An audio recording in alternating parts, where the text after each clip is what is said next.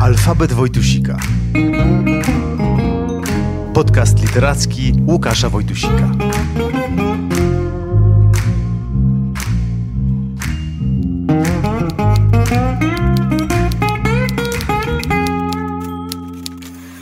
Ten odcinek podcastu zaczynam od spisu treści bardzo ważnego.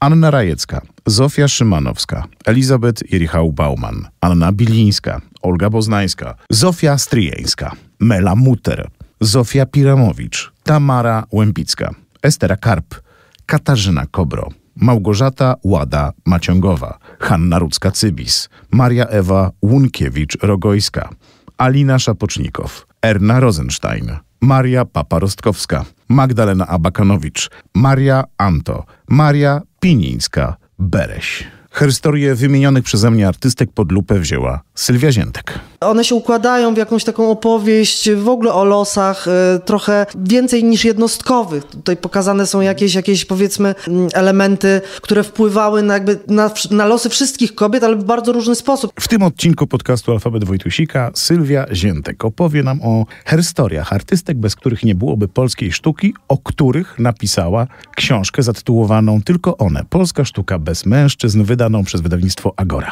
Ja nazywam się Łukasz Wojtusik, a ten podcast działa i funkcjonuje dzięki wsparciu patronek i patronów na patronite.pl.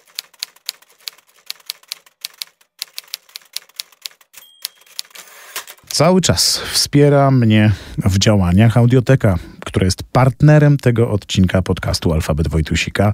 To tam znajdziecie dobrze opowiedziane historie i największy wybór audiobooków po polsku oraz podcasty, w tym Alfabet Wojtusika. Wszystkie odcinki, w tym odcinek 117, w którym z Sylwią Ziętek rozmawiam o innej jej książce, o książce Lunia i Modigliani. To taki portret podwójny, fabularna opowieść o Modiglianim, ale tak naprawdę nie do końca o nim. Szczegóły znajdziecie w audiotece.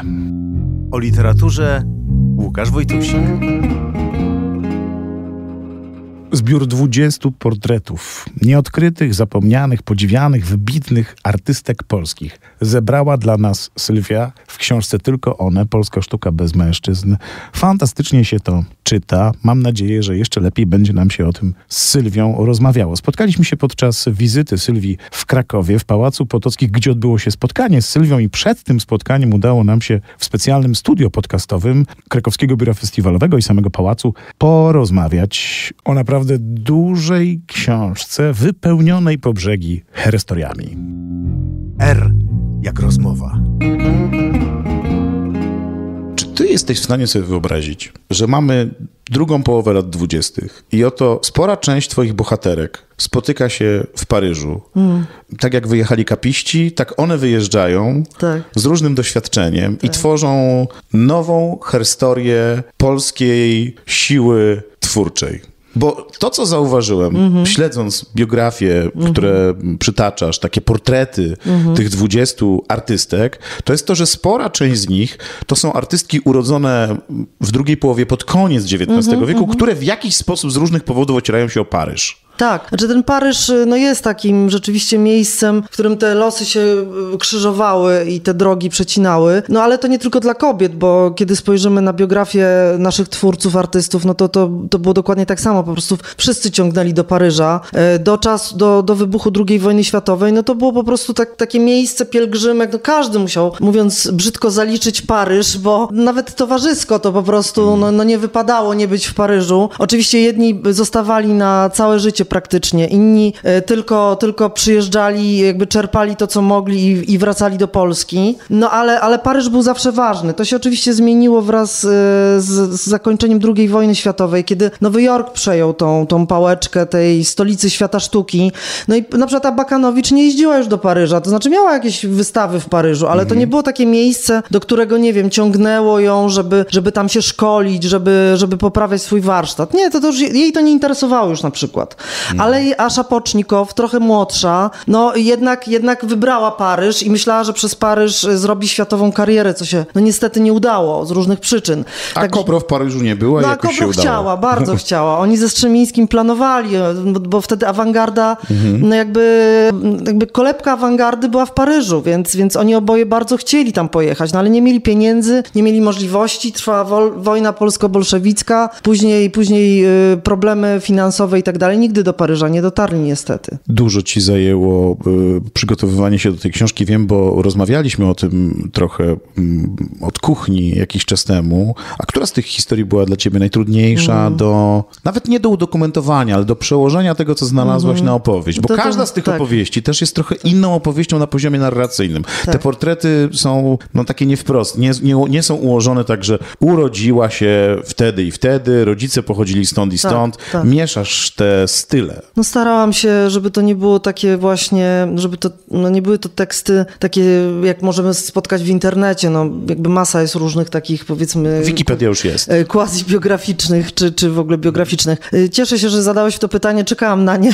nikt się do tej pory o to nie zapytał. E, Dla mnie najtrudniejsza była Szapocznikow, muszę powiedzieć. I tutaj A to wspomniałeś... ciekawe, bo przecież Marek Bejlin ją świetnie próbuje oddać w tej Tak, swojej tak, opowieści, którą tak. czytałem, przyznaję, parę ładnych lat temu, Tak. ale ona mnie urzekła, bo to jest też taka opowieść o byciu w pewnej narracji y, socjalistycznej, tak bym powiedział, y, trochę służeniu władzy, ale nie do końca. Jak to i czy to w ogóle da się robić na własnych warunkach? Tak, tak, To tak. jest bardzo ciekawa, No interesująca ciekawa, opowieść. natomiast jakby dla mnie to też było ciekawe, bo ja czytałam tą biografię Marka Bejlina, no właśnie z pięć lat temu. No i wtedy ją odebrałam zupełnie inaczej niż teraz. Teraz ją przeczytałam ponownie i oczywiście y, autor skupia się na tych, na tych kwestiach politycznych bardzo mocno, na tym jak, jak y, wyglądało funkcjonowanie artysty w socrealizmie. No mnie to oczywiście też interesowało, natomiast najbardziej mnie interesowała y, Szapocznikow kobieta w tym wszystkim i ja na przykład bardzo zwracałam uwagę na te kwestie jej wyglądu, to znaczy tego, jak jej wygląd y, w pewien sposób determinował odbiór jej sztuki.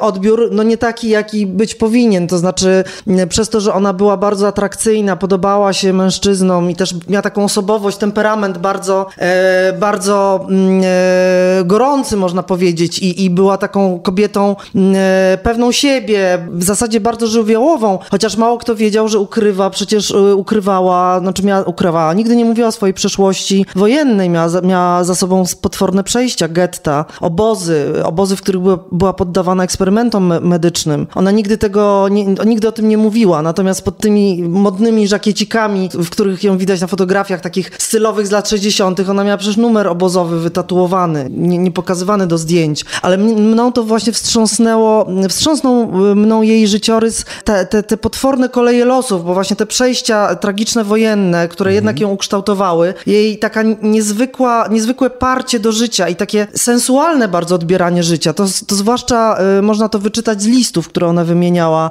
z Ryszardem Stanisławskim, te, rysz- te listy zostały wydane, to jest świetna lektura. I to jest to, jak ona przeżywała właśnie tu i teraz świat, m, który, który miała szansę po prostu y, doświadczać w, w danym momencie, to było dla mnie niesamowite. I później jeszcze choroba nowotworowa, też jej kwestia macierzyństwa, ona bardzo chciała mieć dzieci mimo tego, co przeżyła w obozach, niestety nie mogła właśnie na skutek chorób e, kobiecych, no ale adoptowała syna. E, i to jak, jak ona te swoje traumy i te przeżycia, o których nigdy nie chciała mówić, właśnie przekładała na, ja, na język sztuki, bardzo, zresztą bardzo trudny, bo to jej twórczość nie jest łatwa.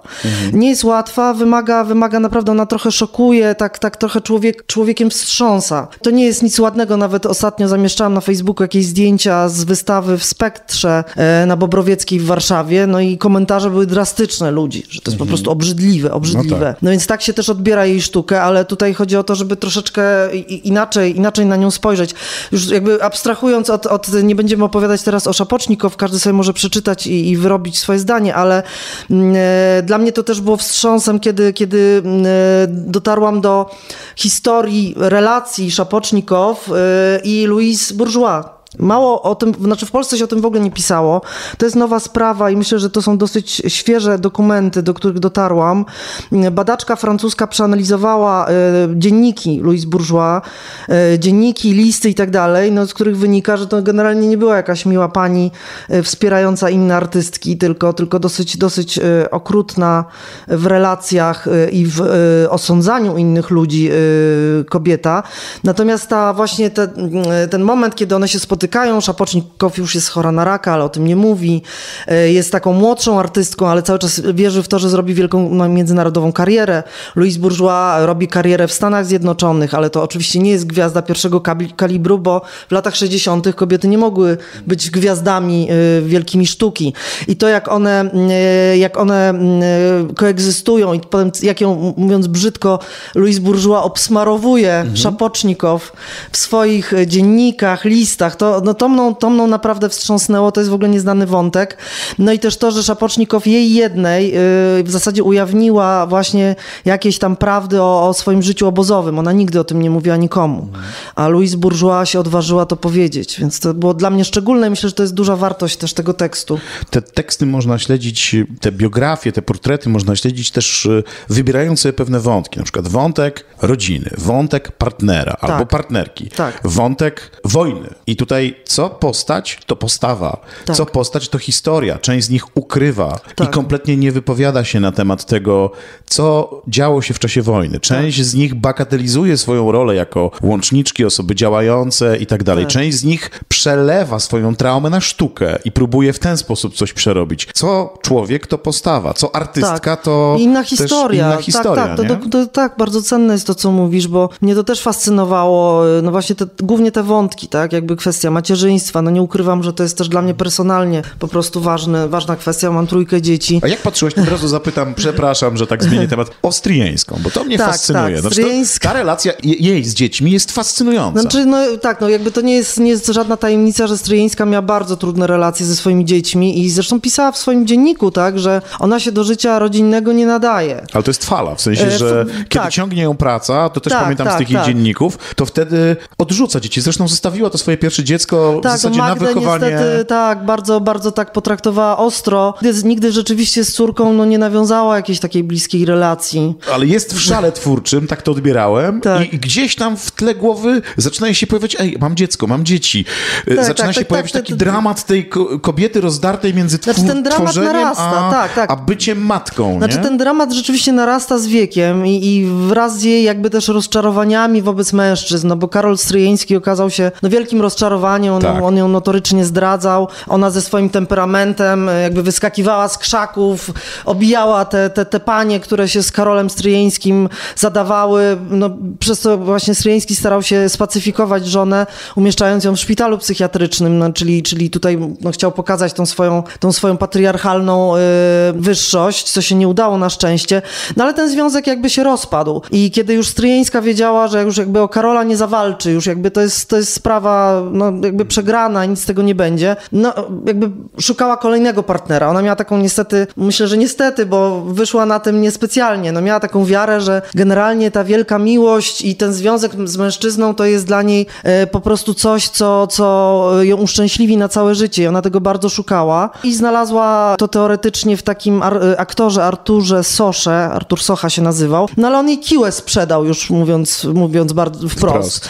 Kompletnie, kompletnie ten, to małżeństwo nie wyszło, kolejny nie wypał i dalsze, dalsze te relacje też nie wychodziły. I w pewnym momencie jakby Stryjeńska sama to odnotowuje w dziennikach, że jakby już wie, że, no bo lata lecą, y, ona ma, ona ma ponad, ponad już 50 lat, więc na tamte realia, no, no to, to, to nie jest już jakby moment, kiedy, żeby szukać partnera. No i, i wtedy zaczyna się też troszeczkę y, zwracać ku dzieciom, to znaczy widzi, że, że no tutaj y, uroda trochę przeminęła, już jakby nie ma, nie ma specjalnie możliwości na, na kolejne otwarcie, no a są dzieci, które dorastają bez niej i rzeczywiście ona w, latach późnych 30.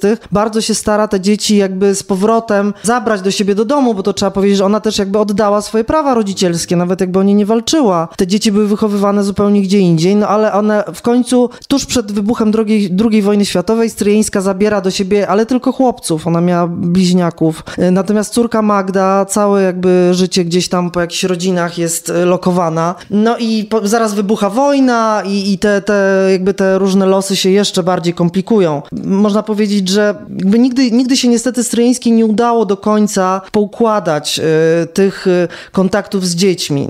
One były, natomiast kiedy Stryjeńska już mieszkała w Genewie y, w latach, w latach 60., w latach 70., no to już jej dzieci miały wnuczęta, też mieszkały w Szwajcarii. Teoretycznie byli bardzo blisko siebie, a mnie to na przykład szokowało, że Stryjeńska się spotykała z nimi tylko w kawiarniach, bo nie, nie lubiła takich, takiej atmosfery rodzinnych obiadków.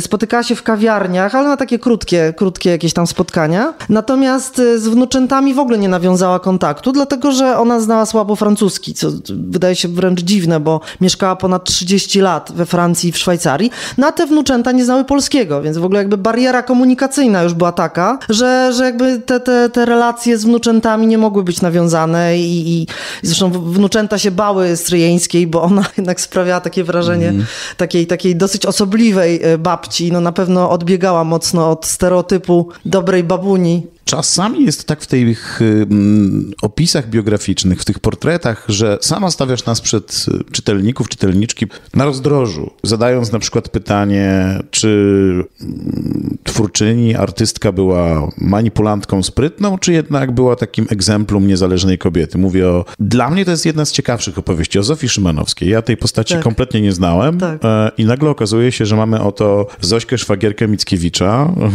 e, Zośkę niezależną kobietę, czy Zośkę manipulantkę, która mhm. jednak docelowo chciała się tym Mickiewiczem zaopiekować, a on jej nie chciał. I wchodzisz w jej twórczość, a jednocześnie i to jest i fascynujące, i trudne, że nie da się opowiedzieć bez kontekstu. No nie da się, niestety nie da się y, tylko bazować na jej sztuce, ponieważ przetrwało bardzo mało obrazów. Większość spłynęła w Powstaniu Warszawskim. Może gdzieś są rozrzucone we Włoszech, no bo ona tam spędziła dużą część życia, natomiast być może nie były sygnowane, bo ona też dużo kopiowała y, mistrzów jakichś renesansowych czy barokowych. Jakby jej dorobek jest skromny, ogromny, więc jakby bazując na tym, co zostało, to co my mamy w muzeach, no jakby tutaj się nie napisze wielkiego tekstu yy, o, o, jej twórczości. Yy, ona głównie zarabiała po prostu malarstwem na życie. No, osiągnęła, osiągnęła oczywiście poziom biegłości i sprawności. Ona była profesjonalnie jakby przygotowana. Zresztą wystarczy spojrzeć na te obrazy, no to one są w takim stylu biedermajerowskim. No one jakby nie odbiegają poziomem tak. od tego, co w tamtych czasach malowano. To były lata, no właśnie 50. XIX wieku. Natomiast ona jednak no, skupiała się na tym, żeby na tych pracach zarobić. No, a jeżeli, jeżeli chodziło głównie o zarobek, no to, no to, to było to mm, robienie czegoś na zlecenie, pod, pod gusta zleceniodawcy. I ona też, jeśli chodzi o malarstwo, no w pewnym momencie przestała się rozwijać, tak jak ja to widzę, bo, bo po prostu nie miała z czego żyć. I jeżeli brała jakieś zlecenia, to po to, żeby, żeby zarobić pieniądze. No ale to, co mówiłeś właśnie, czy ona była manipulantką, czy ona była bardzo niezależna i wyprzedzała swoją epokę. Ja myślę, że to każdy sobie musi sam na to odpowiedzieć. Chciałam tylko jakby zaznaczyć też, y, pokazać ją z takiej strony, nie tylko jako tą, ten czarny charakter, bo, bo ona jest, mhm, ona tak funkcjonuje y, tak, jakby w literaturze poświęconej Mickiewiczowi, no ewidentnie jako ten czarny charakter, jako ja nawet z jednym takim e, znawcą Mickiewicza się konsultowałam i on właśnie mówi, że ona była okropna, to była manipulantka, ona skłócała rodzinę, tylko że jak wejść w ten, w ten jej życiorys i w, w tę historię w ogóle tego domu Mickiewiczów, no to się okazuje, że to wszystko nie jest takie proste, no bo to była jednak sekta. E, często tego jakby nie, nie rozumiemy. Ja sama się dużo dowiedziałam o towianizmie, pisząc ten tekst. To była sekta, o której też jakby ta wiedza jest, to, to nie jest tak, że my wszystko wiemy o tym, co tam się działo. Tam były bardzo dziwne obrzędy, jakieś takie rytuały, jak, jakaś taka zbiorowa na przykład hipnoza z modłami połączona. Już nie mówiąc o jakichś tam e, sugerowanych e, praktykach seksualnych, bardzo dziwnych. No więc jak ta biedna Zofia to wszystko zobaczyła, przyjechała ratować jakby siostrę swoją przyrodnią, Celinę Mickiewiczową, która była no, taka nieszczęśliwa, uciemiężona y, życiem rodzinnym, y, miała bardzo dużo dzieci. Mickiewicz miał w tym samym domu, w którym mieszkał z żoną, trzymał, y, trzymał kochankę, z którą miał dziecko.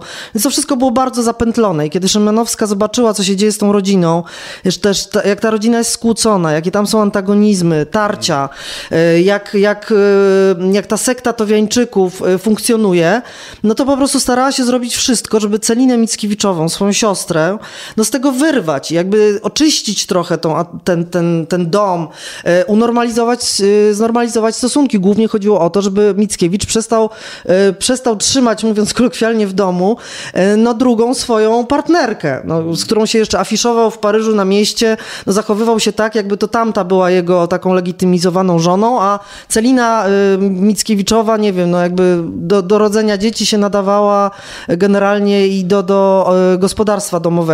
Więc to była bardzo trudna sytuacja y, i, i to, co się działo w tym domu, Zofia Szymanowska opisywała w swoim pamiętniku. I dlatego tak naprawdę my nie wiemy dzisiaj. Też nie wiemy... y, Co jest prawdą, a co nie. jest prawdą, co, co, bo, no bo ten y, pamiętnik nie istnieje. Prawdopodobnie zniszczył go Władysław Mickiewicz, syn, syn wieszcza, bo chciał jednak wystawić ojcu pomnik. Praca portrecistki, biografki nie jest łatwą pracą, nawet jeżeli weźmie się pod uwagę te postaci, które są współczesne, wydawałoby się, i które przeżywają renesans zainteresowania. No, weźmy taką Tamarę Łępicką. O.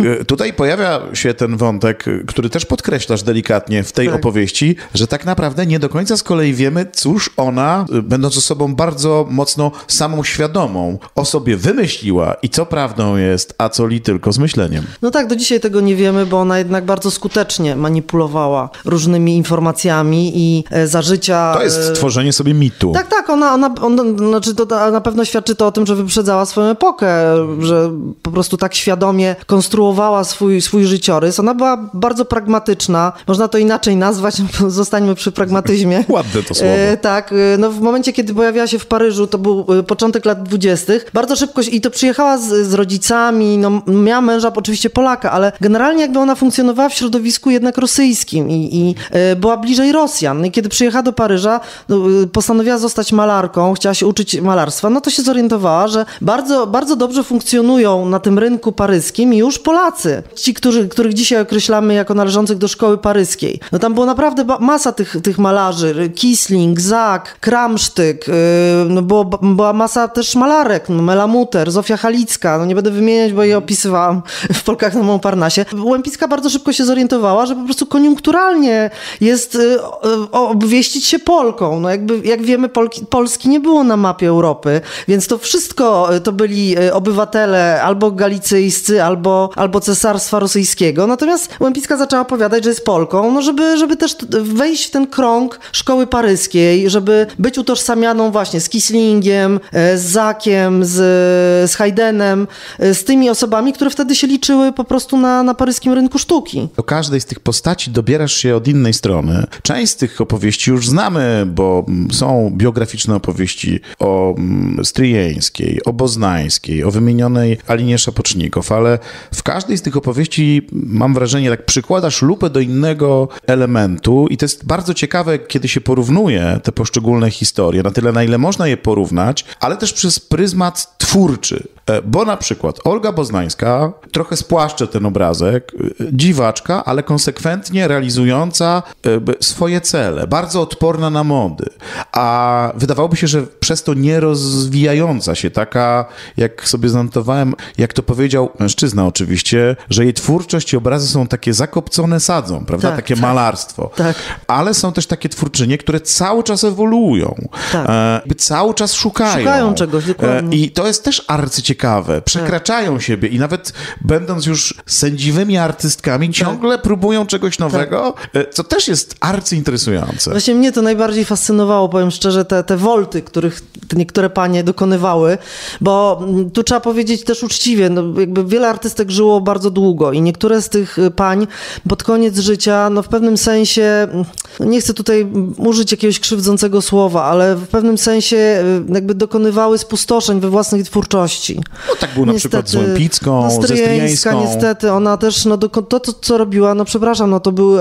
to był autoplagiat bardzo często. Zresztą ona bez, była bezlitosna wobec siebie i pisała o tym w, w, swoim pamiętniku, e, że produkuje te gnioty e, malarskie, także wiedziała dokładnie, wiedziała Tak. jakby co robi, no ale robiła to, żeby się utrzymać, żeby mieć pieniądze. Mela Muter z kolei też to jest bardzo smutny taki wątek. Ona w momencie, kiedy e, zoperowano jej oczy i, i już widziała normalnie, bo miała kataraktę wcześniej, jakby zabrała się za poprawianie własnych obrazów. No i tak poprawiała, że po prostu wiele z tych obrazów zniszczyła nieodwracalnie. Na przykład pocięła płótna. Dzisiaj, dzisiaj y, na przykład obraz Melancholia, taki autoportret, to jest jakby ucięty fragment bardzo dużej całości. No i pytanie, no jakby dlaczego to robiła? No trudno nawet dzisiaj, dzisiaj to zrozumieć, dlaczego na przykład zaczęła przemalowywać obrazy. No ale właśnie inne z kolei artystki. Jak patrzę na Ernę Rosenstein. No Erna to jakby cały czas czegoś szukała. Zupełnie. Ona jest jakby kosmiczna, absolutnie. Ona ciągle czegoś szukała. Pod koniec życia jakby też e, zaczęła tworzyć takie przeróżne przedmioty z, z takich e, elementów, które teoretycznie wyrzuca się na śmietnik. Z jakichś sznurków, takich otwieraczy do konserw. No z najprzedziwniejszych rzeczy. No, robiła biżuterię. Tak, właśnie, bo to też w części z tych rzeczy się ubie, ubierała. Nie? Tak, i kiedyś pojawiła się na wernisażu w naszyjniku z zębów Artura Sandauera, jej, jej jakby nieboszczka męża, nieboszczyka męża, przepraszam.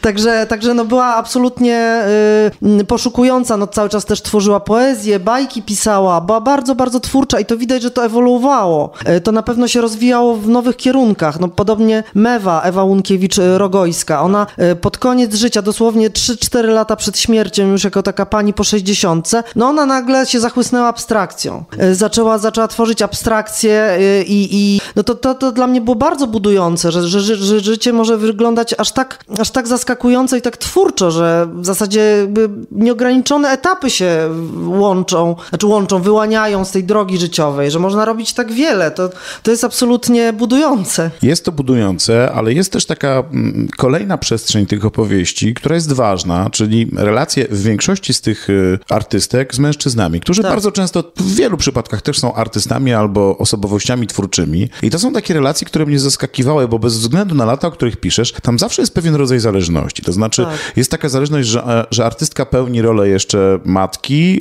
e, tej opiekunki domu, domowego miru i tak dalej, i tak dalej. A jak się nie podoba, to nawet zaraz sobie przypomnę, przy której to postaci. To jest ciekawe, bo ona bezpośrednio też nie jest związana z Polską. E, to jest Elizabeth Jerichau Bauman, Bauman tak. która była związana z Jensenem Adolfem, który jak mu się tam coś nie spodobało, to napisałeś coś takiego, że on ją oddalił. Tak, tak, to w ogóle jest nieprawda, tak, tak, nieprawdopodobne tak, tak. zupełnie. Nawet jeżeli też... kapiści jadą i jadą tak, i mężczyźni i kobiety, to kobiety oprócz tego, że tworzą to... Tak, to jeszcze muszą to jeszcze organizować to życie takie codzienne. Tak, tak, bo... tak to zrozumiałem, że muszą jeszcze oprać, Tak, tak i załatwić, zorganizować. zorganizować jedzenie na przykład, bo Jan Na Czapski uwagę, Tak, nie? bo Czapski to widział, bo na przykład Jan Cybis, który był takim powiedzmy no, liderem kapistów, no on po prostu się nie zajmował takimi trywialnymi rzeczami, Oczywiście. jak załatwić coś na obiad, za przeproszeniem, albo, albo co zrobić z brudnymi ubraniami. No tym się zajmowała wszystkim Hanna Rudzka-Cybis, jego żona. Oprócz tego oczywiście sama też malowała i tak dalej. To jest dokładnie to, co mówisz. No, Czapski to widział, bo to rzeczywiście odnotował. Wydaje mi się, że Cybis niespecjalnie jakby się tym przejmował. On po prostu, takie rzeczy były dla niego zbyt trywialne i to nie była jego działka i on to po prostu miał gdzieś. Mógł, nie wiem, chodzić brudny albo głodny i, i tyle. E, natomiast rzeczywiście ta Jerichał Bauman, którą wspomniałeś, no ona funkcjonowała w takim bardzo jeszcze, no w ciem,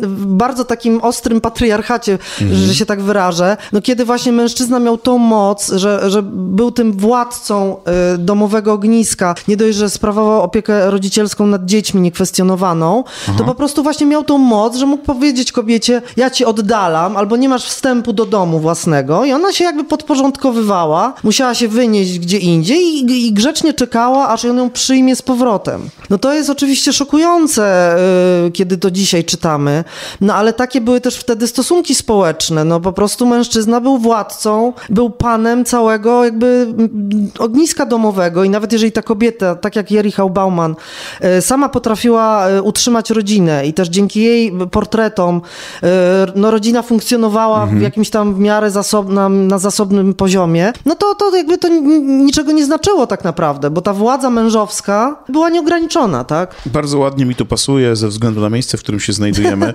Ta opowieść o Hannie Rudzkiej-Cybis. Tutaj będzie fragment z twojej książki, bo to jest, wydaje mi się, bardzo znaczący fragment dla wszystkich tych opowieści, bo to jest to pytanie, może nie egzystencjalne, ale ważne, fundamentalne, które można sobie stawiać czytając kolejne historie, herstorie. Ruską Cybis zapytano w wywiadzie, czy akceptuje pani podział malarstwa na męskie i kobiece? Pani malarstwo, jak twierdzi Anna Guze, nie ma nic wspólnego z malarstwem kobiecym, podobnie jak poezja Marii Pawlikowskiej Jasnorzewskiej nie ma nic wspólnego z poezją kobiecą. Podziela pani tę opinię? Hanna Rudzka-Cybis odpowiedziała: Jest to opinia bardzo osobista. Ktoś inny może powiedzieć, że jest to malarstwo wybitnie kobiece. Ja nie chciałabym udawać, że nie jestem kobietą. Zwłaszcza, że lubię zarówno malarstwo kobiece, jak i męskie, jeżeli jest to prawdziwe malarstwo. I tu pojawia się to pytanie. Ja zawsze je stawiam w odnośnie do literatury. Czy to jest ważne, kto pisze i z jakim doświadczeniem, czy tak naprawdę na końcu najważniejsze jest to, czy to jest dobre? Nie, no oczywiście, że, że jakby to jest jakby kluczowa sprawa, tak? Czy, czy coś jest dobre, czy nie. Tylko pytanie teraz, jakie kryteria stosujemy, żeby to ocenić? Czy możliwe Czy jest, jest w ogóle dobre? to porównanie, bo nie ma tej równości? No nie ma tej równości i, i ja myślę, że gdybyśmy zrobili właśnie taki eksperyment, że nie wiem, byłyby dwa e, obok czekaj, siebie... jest, jesteśmy przy Brackiej ulicy w, w Pałacu Potockich, a skoro Bracka, to oczywiście nasuwa się nam tutaj kulturowo Tak. Grzegorz Turnał, Tak. e, bo na Brackiej jak wiadomo co, to wiadomo co pada, a poza tym, uwaga, tu cichosza, tam cichosza, nie ma Słowackiego i nie ma Miłosza i nie ma Matejki ani Malczewskiego, ani Wyczółkowskiego i co wychodzi z tego? Tylko one? No właśnie, no, no jakby tak, to, to, jest, to jest świetne podsumowanie, że, że no jakby kobiet nie ma. Y, Trudno jest, trudno jest y, oceniać jakby mm, też często, jak wielki, jak wielki był udział ich w rynku sztuki, co one zmieniły, co one wniosły. No jeśli myślimy o sztuce współczesnej, no to przecież Abakanowicz, to co zrobiła Abakanowicz, Szapocznikow, to jest niekwestionowane, tak? Oczywiście im sięgamy dalej, tym to jest trochę trudniejsze. No ale mm, przepraszam bardzo, y, czy naprawdę mm, w dzisiejszych czasach y, tylko dlatego, że obraz został namalowany przez kobietę, można powiedzieć, że, że to jest właśnie malarstwo gorsz, na gorszym poziomie, bo, no bo y, widzi się właśnie sygnaturę na obrazie, a proszę mi wierzyć, że tak bardzo wiele osób właśnie y, podchodzi do, y, do malarstwa, do rzeźby. Jakby widzi obraz i jakby fakt jakby tego, kto go namalował, kto go stworzył, jest jakby decydujący w naszym procesie ocennym. Może, może to są jakieś też podprogowe nasze, nasze schematy myślenia, może tego nawet jakby nie dostrzegamy, ale naprawdę tak jest. Że, zresztą tak jak często się uważa, że opinia mm, wyartykułowana przez mężczyznę jest jakby zawsze bardziej ceniona. I nawet były takie badania robione, prawda, socjologiczne, że, że jakby jeżeli męż, mężczyzna zabiera głos i coś mówi, wypowiada jakąś opinię, to jest to po, powszechnie uważane za bardziej, za bardziej znaczące i ten pan jest dużo bardziej słuchany niż kobieta, która to robi. I ja myślę, że podobnie jest z taką sztuką. No, idzie się do muzeum, patrzy, aha, a to tam namalowała jakaś tam, a, Bilińska Nie jakaś. chcecie straszyć, ale jesteśmy jakieś 150 metrów od sukiennic, No to- jakiś kilometr od Muzeum Narodowego w Krakowie. Już nie powiem o pomniejszych domach Matejków i paru innych. No i byśmy sobie mogli zweryfikować, ile tam jest obrazów kobiet i jak to, jak to wygląda. No oczywiście wisi Bilińska, za przeproszeniem wisi Bilińska, wisi autoportret Mhm. Bilińskiej, ten, który jest na okładce mojej książki, ten taki no, no, najważniejszy w jej twórczości. No ale dobrze, dobrze, ale Bilińska odkryta ile lat temu? Znaczy no parę ponownie. Mhm. lat temu de facto odkryta ponownie. Wisi y, w, dziewczynka z chryzantemami boznańskiej, zresztą już nie w sukiennicach. Te obrazy były dwa w sukiennicach, zostały przeniesione do tego gmachu y, głównego Muzeum Narodowego. To prawda. No wiem, że nawet czytelniczki mnie właśnie alarmują, że jakby tych kobiet jakby wcale nie przybywa, no, jakby ich jest ciągle bardzo, bardzo mało. Ja zresztą odwiedziłam chyba z miesiąc temu tą wystawę poświęconą Matejce, dużą tą Mhm. retrospektywę. No i byłam taka trochę, muszę powiedzieć, yy, przerażona,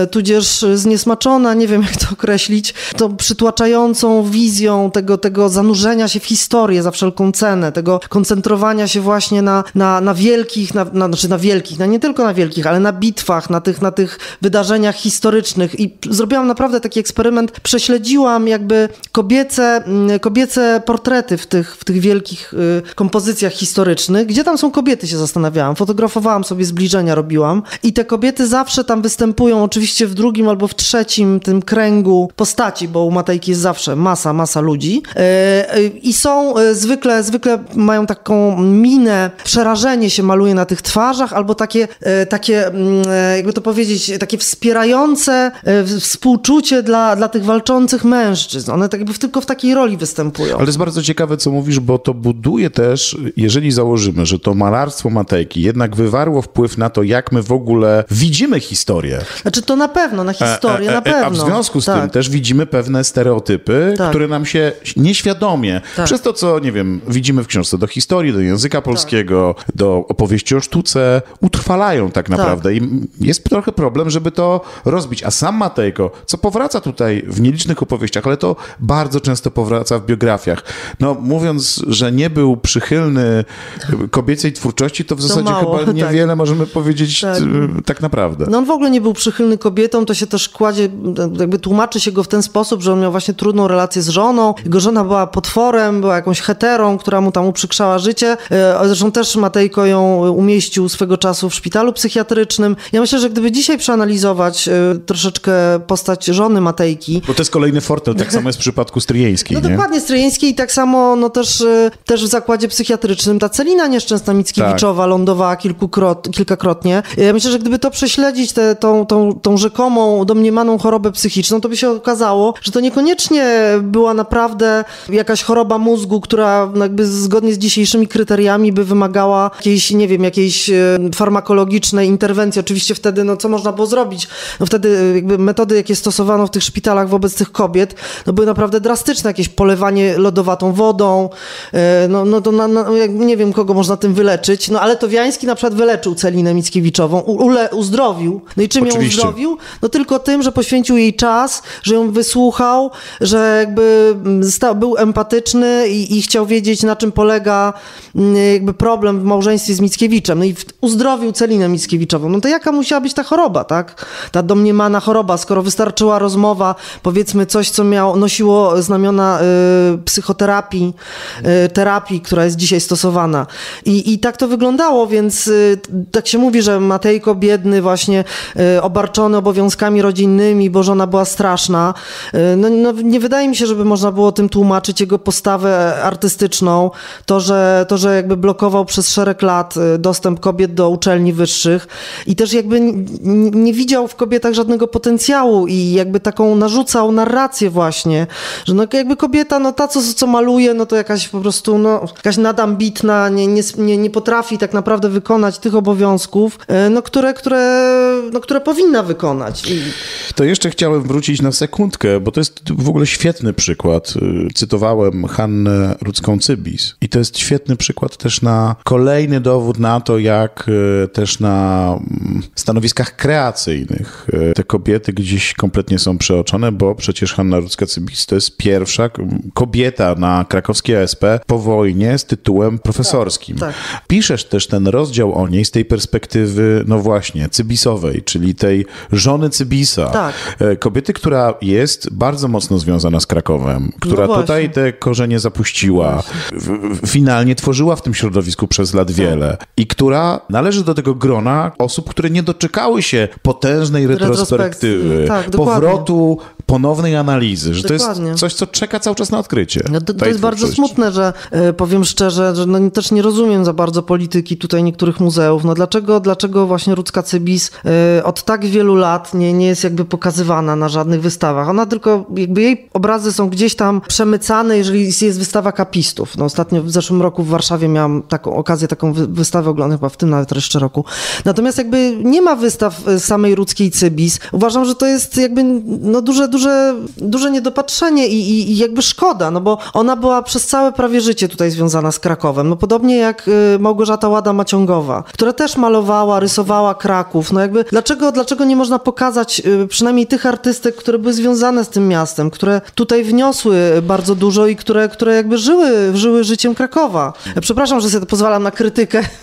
Proszę, Przyjechała proszę. jakaś pani z, z dziwnego miejsca i tutaj e, krytykuje, a może bardziej mówię w tym kontekście, żeby to tutaj zachęcić uwagi, i, i, e, i, i jakby uzmysłowić, że, no, że te artystki są niesłusznie zapomniane i, i Kraków powinien się nimi szczycić. Jedna z najbardziej przejmujących dla mnie opowieści Mhm. to jest opowieść o artystce, która długopisem maluje świat, do którego chciałaby powrócić, Tak. a siedzi w zamknięciu. Tak. I, I to jest jakaś nieprawdopodobna historia. Znaczy, jeżeli jest w tej książce historia, która mnie chwyta za serce, tak pozarozumowo, to to jest ta historia. Tak, to, to jest bardzo, bardzo taka smutna, prze- przejmująca opowieść o Esterze Karp, o tej malarce ze Skierniewic, y, która no, wcześniej ze Skierniewic Skierniewic wyjechała, była związana też z Łodzią przez pewien czas z, z taką awangardową grupą y, żydowską. No później zdecydowała się na Paryż, tak jak wielu, wielu innych twórców i w latach 30. też się znalazła, znalazła w tych kręgach szkoły paryskiej. No ale, ale, no, ale los jej się tak potoczył. Ona rzeczywiście miała prawdopodobnie albo schizofrenię, albo chorobę dwubiegunową. Tego dokładnie nie wiemy dzisiaj, natomiast rzeczywiście miała, miała jakieś problemy psychiczne, które bardzo, bardzo się nasiliły wraz z wybuchem II wojny światowej. Znaczy to, co się działo z jej rodziną, no większość jej, jej rodziny, bo była Żydówką, została zamordowana i, i to zresztą, co się działo z, z Żydami wówczas, no tak na nią wpłynęło bardzo, bardzo silnie, że no choroba się uaktywniła w takim pełnym, pełnym znaczeniu i Esther Karp w zasadzie no, kilkadziesiąt lat spędziła w, w różnych szpitalach psychiatrycznych. To ja zrobię na koniec naszej rozmowy to, co już zrobiłem na początku, ale to jest ważne. Anna Rajecka, Zofia Szymanowska, Elizabeth Richał-Bauman, Anna Bilińska, Olga Boznańska, Zofia Stryjeńska, Mela Muter, Zofia Piramowicz, Tamara Łępicka, Estera Karp, Katarzyna Kobro, Małgorzata Łada Maciągowa, Hanna Rudzka-Cybis, Maria Ewa Łunkiewicz-Rogojska, Alina Szapocznikow, Erna Rosenstein, Maria Papa-Rostkowska, Magdalena Bakanowicz, Maria Anto, Maria Pinińska-Bereś. Państwo sobie teraz domyślicie, dopowiecie, kogo wam zabrakło. Pewnie kolejna część tej opowieści tylko one będzie, jak znam autorkę. Która z tych historii jest dla ciebie taka najbliższa ci? Tak, to na pewno Szapocznikow, tak. To, Mhm. to na pewno ten życiorys jest dla mnie bardzo, bardzo przejmujący y, i, i właśnie... Ale wiesz, taka siostra łata. Myślę, że jednak Melamuter, no to jest moja ulubienica od, od lat, jeśli tak mogę powiedzieć. Znaczy, nie, ja tutaj nie widzę jakiejś takiej analogii życiowej do, do jej... y, Czyli jednak École de Paris. do jej jakby losów, I w ale... ten sposób wracamy na Montparnasse. I, I ciągle się kręcimy tak w- wokół tych samych y, jakby tematów, ale, ale rzeczywiście Mela Muter jest mi bardzo bliska. Znaczy każda, tu muszę powiedzieć, że naprawdę każda z tych kobiet, oczywiście moje sympatie nie są y, jakby jednakowe i to ktoś mi nawet powiedział, że to bardzo jakby daje się wyczytać, że, że jedno, jedno, jedne z artystek tak z większą empatią traktuje niż Ale może inne. to jest też uczciwe, wiesz, bo jak kogoś No nie tak. czujesz, to trudno jest y, Znaczy, no tak, no, stworzyć mu to historię, nie? Znaczy piszę to jednak ja, ja jako ja, to nie jest, to nie jest e, reporterska książka, więc tutaj sobie pozwoliłam na pewne, pewne akcentowanie różnych zdarzeń i, i, e, i pewne rzeczy, no jakby uważam za, za no ma, mało, e, mało pozytywne w tych życiorysach i jakby nie zamierzałam tego, tego ukrywać. No czasami na przykład taki pęd do, pęd do sławy, do, do, do bycia ważną, jak na przykład miała Abakanowicz. No, powiem szczerze, czasami mnie irytował. Jakby to, jak ona bardzo była skupiona na, y, na, tym, y, na, tej drodze artyst, na tej drodze artystycznej, ale w takim kontekście, żeby, żeby jednak zawojować świat, żeby, żeby pokazać jej światu. Udało. Co jej się oczywiście udało, więc jakby szapoba. Natomiast jakby ta determinacja i to, jak, jak całe życie podporządkowała jakby budowaniu takiemu misternemu mm, kariery międzynarodowej, to czasami mi się to wydawało takie jednak y, bardzo, bardzo no, przesadnie przemyślane, zaplanowane. Brakowało mi tam czasami jakiegoś takiego szaleństwa artystycznego i takiego rzucenia się w nieznane, y, pomimo tego, co, co artystka jednak y, obwieszczała światu. Ale może to drugiej strony jest, wiesz, tak nie mówię jako analityk y, rynku sztuki, ale to też jest takie monumentalnie stałe, że wiesz, wchodzisz do muzeum i wiesz, że to jest Abakanowicz. To znaczy, Nie, nie, że to jest ta oczywiście. rozpoznawalność godna, uwaga, Łępickiej, Tak. która też bardzo świadomie budowała tą narrację o sobie. Znaczy, akurat y, tak, jakby e, ambicja Łępickiej też nie powiem, e, momentami była dla mnie trudna do, do, do zniesienia. Znaczy, ona miała bardzo dużą ambicję artystyczną, co też jej się chwali, bo nawet pod koniec życia, kiedy już no, sobie nie radziła specjalnie też chyba po prostu e, formalnie z, z władaniem nad, nad, e, nad sztuką, e, no to jednak nie ustępowała. Ona do końca próbowała, do końca szukała jakichś nowych dróg, to nie wychodziło niestety i zresztą dzisiaj jest jednak, no dzisiaj nadal jest ceniona najbardziej za ten okres jednak paryski, lata 20, lata 30. To, co później zrobiła, oczywiście to jest takie odkrywanie, ojej, tu abstrakcja, tu malowanie szpachlą, tu nawiązania do martwych natur holenderskich, ale prawda jest taka, że poziom artystyczny osiągnęła najwyższy jednak, jednak w latach 30. No ale nie ustępowała, ciągle szukała, ciągle, ciągle próbowała, no ale u niej jakby ta, też ta, ta, ten pęd do sławy, do, do bycia uznaną, no bardzo mocno był jednak związany z kwestiami finansowymi i takim też, jakby to, co było dla niej jednak najistotniejsze, to był ten komfort, luksus życia, to, i to czasami trudno, trudno jest zaakceptować jakby to, to skupienie właśnie na tym blichtrze, na tym, że, że, że trzeba jechać pięć razy do roku, tu Wenecja, tu Paryż, tu Nowy Jork, tu Mediolan i się wszędzie pokazywać tak jakby ostentacyjnie to, to swoje bogactwo, prezentować i, i y, no to, to, to się trochę kłóci jakby z tak, wydaje mi się z taką uczciwością artystyczną. No jednak y, według mnie, no jednak y, te inne losy pokazują, że, że, mm, no, że sztuka wymaga jednak pewnych poświęceń i to nie jest tak, że jakby obwieszenie się brylantami i, i spacerowanie w jakimś, jakimś ekstrawaganckim stroju na placu Świętego Marka jakby sprzyja, sprzyja sztuce. No, no nie. To ja mam już tytuł dla twojej drugiej opowieści, żeby nie było tylko one, część druga, to, to mam taki pomysł. One też. bardzo, na bardzo i tam, piękne. I tam, może, i tam może na przykład Jarema może by się tam znalazła. No, ja y- myślę, że masz takie sytuacje po spotkaniach, że cię pytają, no bo tych spotkań już trochę miałaś, Tak, tak. a siedzimy w czasie, e, kiedy będziesz miała też spotkanie w Krakowie. Dlaczego nie ma Jaremianki? A dlaczego nie ma A to ci już tam, nie? odpowiadam. Y, Dlaczego nie ma Jaremianki? To już za wszystkiego się jestem w stanie wytłumaczyć. Y, nie zarzut. Y, To Nie, było nie, dokonać ale to jakby mm, to jest, to jest y, jakby racjonalne pytanie. Jakby nie ma y, Jaremianki, ponieważ jest świetna biografia Jaremianki na rynku. No powstała, Agnieszki Dałkrzak. Tak, parę lat temu i jakby tutaj nie bardzo widziałam sens po prostu. No jakby, no po co mam pisać o Jaremiance? No raczej jeżeli pisałam o tych osobach, które są już opisane, no to starałam się szukać jakby albo nowego spojrzenia, albo, albo ja widziałam trochę inaczej tą postać niż, niż autorka, autor biografii. E, I dlatego się jakby pokusiłam e, o, o, o sportretowanie, tak? Że troszeczkę gdzie indziej akcenty kładę. To jest w ogóle bardzo ciekawe, żeby przeczytać te wszystkie książki w kontekście, nie? I sięgnąć i po Bejlina, i po Małgosię No Czyńską. jest bogata nie? bibliografia, także zachęcam.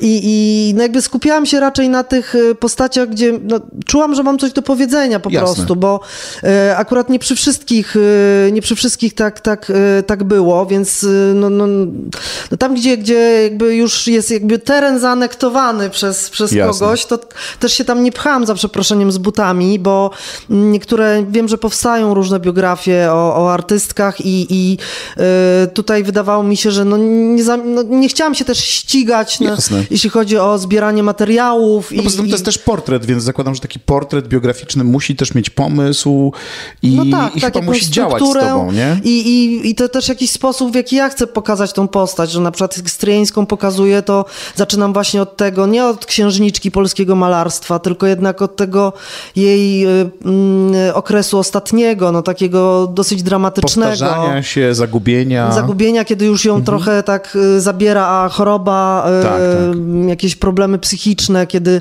kiedy ona no, jest taką tragiczną rzeczywiście postacią, bardzo wyalienowaną na emigracji, niedocenioną kompletnie jakby już w kraju. To, to jakby te czasy minęły, nikt o niej w latach 70. w Polsce nie pamięta. I ten, to jest bardzo tragiczne, to, że ona, ona musi zarabiać na życie, musi cały czas się utrzymywać, bo rzeczywiście te pieniądze to była jej taka bolączka stała, stała w jej życiu i tutaj jakby przechodząc od Stryjeńskiej do Łębickiej zawsze się zastanawiałam, no właśnie, że nigdy Stryjeńska nie miała takiej szansy jak Tamara, no nie miała takich środków, nie miała, nie, ciekawa jestem, czy gdyby miała te pieniądze, za którymi tak potwornie goniła i których zawsze jej brakowało, czy gdyby miała ten status materialny taki jak Łępicka, to, y, to rzeczywiście byłaby bardziej, bardziej by sobie pozwalała na eksperymenty, byłaby bardziej kreatywna, szłaby w nowych kierunkach, a nie malowała za przeproszeniem Madonny zakopiańskie dla Polonii, no bo niestety tak, Tak. tak, y, tak to wyglądało w tych ostatnich latach. I to jest smutne, no ale ja też nie, nie chcę wystawiać pomnika i laurki i tylko właśnie opisać o tym, że to była księżniczka malarstwa polskiego, bo była takową, no ale była też y, autoplagiatorką, no pr- przepraszam, ale tak było. Y, Jak one też się pokażą, to y, nawiążemy do tego i tak też jakby- zapraszam cię na kolejną rozmowę. To, chociaż zakładam, że to może jeszcze trochę potrwać. E, A propozycję dla Państwa mam taką, żebyście, m, jeżeli to tylko możliwe, poświęcili swój czas na lekturę e, książki Sylwii, e, wnikliwą. Najlepiej zrobić to dwukrotnie. Ja właśnie Ojej. zabieram się za drugie czytanie, Dwukrotnie. dlatego że, ale wiesz dlaczego dwukrotnie? Dlatego, że tych historii jest tak dużo, że ja się tak. łapałem, że one gdzieś w głowie mi się po prostu, Tak, tak, wiesz... tak, bo tego jest bardzo dużo, więc, więc ja też jakby, jeżeli mogę coś tutaj poradzić czy zalecić, to może sobie dawkować też, albo sięgnąć Chodzi o na to, przykład... żeby się mi było łatwiej, bo rzeczywiście przyznam ci się szczerze, że z tych innych opowieści, no nie wiem, czytałem, czytałem o Boznańskiej, czytałem Szapocznikow, czytałem o Katarzynie Kobro, te pojedyncze m, e, biografie, więc jakby było mi się łatwiej odna odnaleźć. Znam też Tak. twoje poprzednie książki. No tak, tak, no masz wiedzę generalnie. Ale, ale jak ktoś tak to na raz przyjmie, To ciężko. jest to rozrywające. Tak, tak, wiem, wiem, bo ostatnio miałam taki wywiad i że osoba, która bardzo tak szybko wchłonęła, a nie jest jakby w ogóle taka niezaznajomiona z rynkiem sztuki, to kompletnie jej się wszystko mieszało, nazwiska, wszystkie gdzieś tam dzwoniło, ale nie w tym kościele, więc to było takie no, dosyć ciekawe doświadczenie. Także, że tak powiem, mm, osobom mm, niewdrożonym, to jakby Jeden sugeruję... rozdział na tydzień. E, Sugeruję tak, to znaczy, bo rzeczywiście można tą książkę się, e, czytać w ten sposób, żeby sięgać tylko do tych, no nie wiem, postaci, które mamy ochotę coś o nich przeczytać, inne pomijać, ale mi się wydaje, że one jako całość też jakoś tam przemawiają, bo Tak. e, one się układają w jakąś taką opowieść w ogóle o losach, e, trochę jakby bardziej, więcej niż jednostkowych. Tutaj pokazane są jakieś, jakieś powiedzmy e, też elementy, które wpływały na jakby na, na losy wszystkich kobiet, ale w bardzo różny sposób, tak jak tu wspomniałeś chyba wojnę. To jest też bardzo ciekawe, żeby sobie na przykład prześledzić, jak wojna, jak trauma wojenna e, wpłynęła na życie e, Szapocznikow, jak na Abakanowicz, jak na życie Papy Rostkowskiej, tak? I jak na Erne Rosenstein. To są, dla mnie te porównania też były bardzo ciekawe, Dla tak? mnie też, no, to, to powiedzieliśmy o, o tych relacjach rodzinnych, o związkach z mężczyznami, o pieniądzach. Tak, to o tym, co w ogóle do dzieje się kariery, też, prawda? e, e, Też to podejście, co dzieje się po 45 roku. A tak, tak, to która kiedy część z jakby- nich wyjeżdża, tak, powraca i jest tak, tu tak trochę na zasadzie gościa, gościni tak, Tak, naprawdę, tak, tak, nie? tak, tak, A która, tak. jak choćby Szapoczników, ale tych przykładów jest więcej, Tak. stara się jakoś grać, to znaczy być w obiegu, tu, i a tam, jednocześnie tak, niekoniecznie tak. w socrealu, Tak, nie? tak, tak, jak, jak, dokładnie, ale też jakby stosunek do socrealizmu, no jakby niektóre się jakby ewidentnie z władzą, no szły, szły w taniec z władzą, tak, y, tak. A, a niektóre jednak no, y, sobie jakoś poradziły i nigdy na takie jakieś kompromisy nie poszły. Znaczy no, nawet nie chodzi o kompromisy, tylko, tylko po prostu uniknęły tej, y, te, tego, tego socrealizmu, a, a inne nie. Więc wydaje mi się, że tu jest sporo takich zagadnień bardzo konkretnych, które sobie można na bazie tych, tych życiorysów przeanalizować i wysnuć, jak, wysnuć jakieś własne, własne wnioski. No to, to jakby zachęcam bardzo. Z Sylwią Ziętek rozmawialiśmy w studio podcastowym w Pałacu Potockich. Za udostępnienie tego studia i pomoc w realizacji nagrania. Piękne dzięki dla całej ekipy Pałacu Potockich i Krakowskiego Biura Festiwalowego. Ukłon niski jak zwykle dla patronek i patronów, osób, które wspierają mnie na patronite.pl, wspierają działania podcastu Alfabet Wojtusika. Do tego grona można dołączyć i w ten sposób współtworzyć to, co dzieje się w ramach podcastu. Szczegóły tego, jak mnie wspierać, znajdziecie na patronite.pl. Książki Sylwii Ziętek do czytania polecam, a także do słuchania. Partnerem tego odcinka Alfabetu Wojtusika jest Audioteka. Dobrze opowiedziane historie. Tam znajdziecie największy wybór audiobooków po polsku, w tym kilka propozycji od Sylwii Ziętek. To propozycje takie jak choćby Polki na Montparnasse słynne, a także książka, o której rozmawialiśmy. Tylko one. Polska sztuka bez kobiet czyta Ewa Abart. Można więc y, czytać albo, dzięki audiotece, słuchać opowieści o polskich artystkach, które zebrała dla nas Sylwia. My zbieramy się po raz kolejny już niebawem, by porozmawiać o literaturze w kolejnym odcinku Alfabetu Wojtusika. Do usłyszenia.